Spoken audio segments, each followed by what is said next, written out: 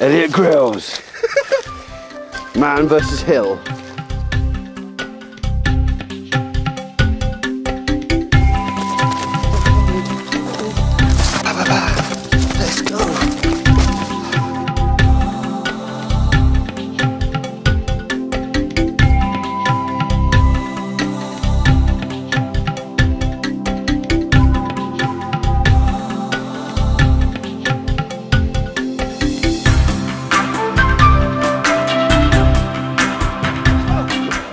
250 quid, happy days.